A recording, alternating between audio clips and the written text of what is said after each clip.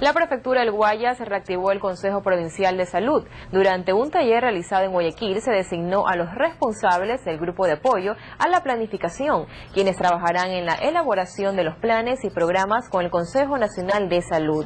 La directora provincial del ramo, Rosario Cantos, explicó que el sector norte del Guayas requiere de mayor atención por estar expuesto a más enfermedades.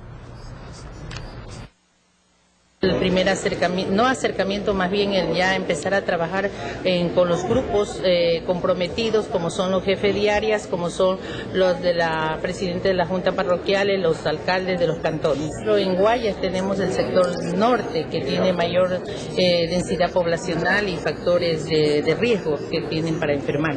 Que vamos a trabajar de una manera coordinada con los, eh, con los gobiernos autónomos. Sí, tenemos que cumplir de acuerdo a la ley.